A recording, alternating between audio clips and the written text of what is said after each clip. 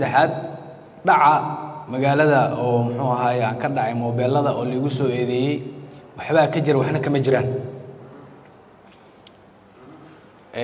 Waxaa ka jira inta aniga xilli haween badan uu si la yaab leh uu u dardaray kuwana madaxiisa loo furay. Su'aalihii maxkamadda ay weydiiyeen oo aan la soo daynin ayaan idiin soo gudbinayaa uu uga jawaabi doonaa cabdilfataax qaab la yaab leh. Markii la hordhigay sababaha keenay in gabdho dhan lixdan gabdhood oo keli ah uu moobeelada ka qaato raggana uusan aadin. Kulanti wacan oo wanaagsan akhyaarta hawada aan ku saaxiibnay oo idilkiinba. Meel walbo aad joogtaan waxaa idin leeyahay wakhtiga idiin wacnaado. Dhammaantiinba muuqaalka la egareeya cid walba muuqaalka la egareysa waxaan allah subxaana wa tacaala aan kaga baryaynaa umuuraha leedahay ilaahayna u sahla ilaahay subxaana wa tacaalana awlaadda uu barakeeya inta awlaadoonkaana ilaahay awlaad baari ah ha siiyo inta gurdoonkaana gur wanaagsan iyo mustaqbal wanaagsan ee baweyna ha siiyo qof walba muuqaalka sheerta ku qabtaa waxaan rabbi subxaana wa tacaala aan kaga baryaynaa.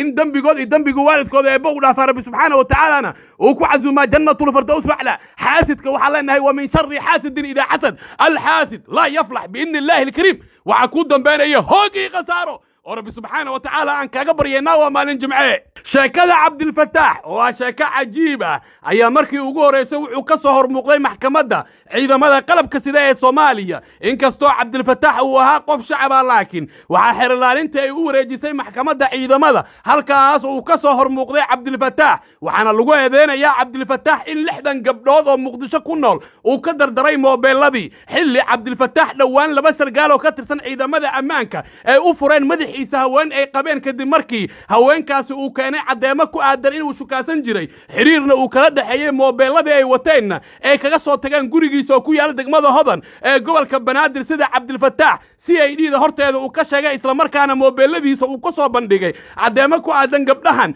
iyo xiriirka kala dhexeeyey laakiin xeerlaalinta ciidamada qalabka sida ee soomaaliya waxay cabdilfataax ee ku eedeynaysaa in lixdan gabdhood uu ka dhacay moobeelladii ay wateen islamarkaana uusan aadi jirin ragga qadiib cabdilfataax oo ah qadiib hore oo imaam ka ahaa ama qadiib ka ahaa masjidka sigiska ee ku yaal magaalada nairobi ee xarunta dalka kenya ayaa muqdisho markuu ku soo noqday wuxuu u shaqo bilaabay mid ka mid ah hay'adaha gargaarka ee laga leeyahay dalka qatar. Wuxuuna ku hoos watay xariifnimadan oo gabdhaha uu ka dardarayo moobeelada ay wateen. Cabdilfataax maxkamadda wuxuu ka sheegay in asaga uu qirsan yahay in soddon gabdhood uu ka qaatay moobeelada ay wateen islamarkaana magacyada iyo taleefanada gabdhahaasi ay u qoran yihiin laakiin uusan jirin aysan jirin eedda ku aadan in lixdan gabdhood uu dardaray moobeeladiina uu ka qaatay waa sida cabdilfataax oo weli eedeysano ah maxkamaddana aysan xukumin uu ka hor sheegay maxkamadda ciidamada qalabka sida ee soomaaliya. Xariifkan cabdilfataax wuxuu qoran jiray dhammaan magacyada taleefannada gabdhaha uu ka qaato moobeelada wuxuuna maxkamadda horteeda uu keenay liiska gabdhaha uu ka qaatay moobeelada oo tiradooda uu ku sheegay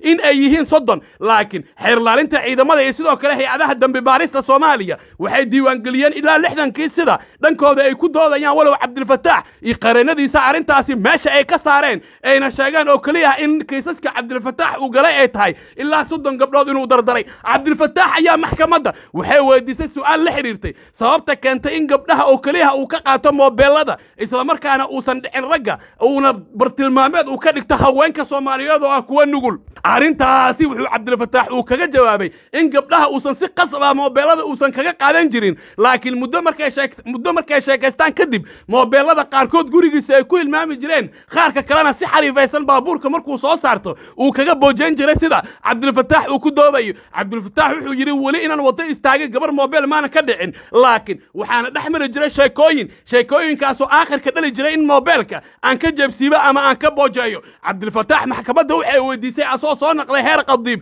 islamarkaana qadiib ka ahaa masjid weyn oo ku yaal magaalada nairobi waxa ku qasbay tugnimadan casriga. Wuxuu tilmaamay in arrintan ay balwad u naqatay islamarkaana balwadiisa ay ahayd. In gabdhaha uu ka qaato moobeelada islamarkaana uu ka boojeeyo ama uu sasabto sida. Cabdilfataax maxkamadda uu ka hor sheegay wuxuu sidoo kale cabdilfataax uu leeyahay gabdhaha marka hore waxay soo boojeynayaan ama ay moobeello eefoonna ay kuwa ugu qaalisan ay ka qaadanayaan ragga. Anigana raggii ayaan u aaraya ayuu ka yidhi maxkamadda taas oo ka qosolsiisay xeer guddoomiyaha. Maxkamadda maxkamadda darajada koowaad ee ciidamada qalabka sida ee soomaaliya shuute shuute ayaa cabdilfataax su'aashii ku celiyey mar kale. Wuxuu weydiiyey sababta keentay in gabdhaha keliya uu bartilmaameedsada islamarkaana gabdhaha uu dardaro. Cabdilfataax isla jawaabtii ayuu ku celiyey oo uu leeyahay waxaan u aarayay ragga. Rag badan ayaa moobeello eefoonna ah. Iyo samsuumyadii ugu dambeeyey gabdhaha inay ka cunanayeen haddana taleefannada ay ka bedestaan facebooka iyo whatsappka iyo imaha iyo meelaha kale ee laga sheekaystana waxay ka saaraan bolog taasoo uu sheegay in asiga ay caragelisay islamarkaana qudhiisa dhowr gabdhood arrintaas ay ku sameeyeen.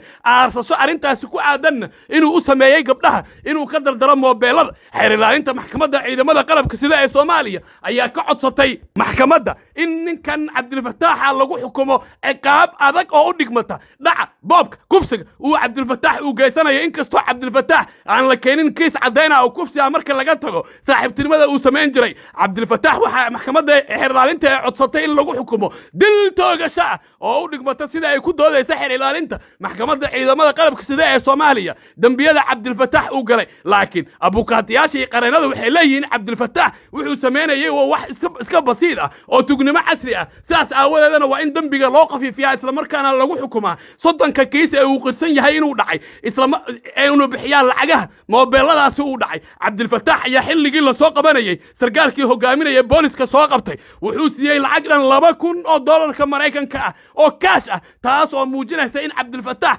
lacago badan uu ka sameeyey dhaca gabdhaha uu u geysanaya casriga. Haddaba aragtidaadii waxay kula tahay sheekadan cajiibka ah qaybta hoose ee fariimaha nagula wadaag.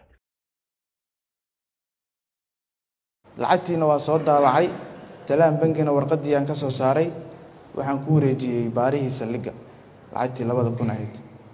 Ciidamo kale baarihii kiiska iyo dhibanayaal ayaa iyana maxkamadda ka sheegay inta ka qosayso dhacdadan la yaab ka leh maxkamadda waxaan ka codsanayaa cadaaladii sharciga waxay tahay ninkaas in lai mariyo anigu uu ceejiye darxadduu igu ceejiye isbitaal madiinaan tagay haye dawa la ii soo qoray dhibaatadu iga tilaayo wallaahi hadda waa shoogsanahay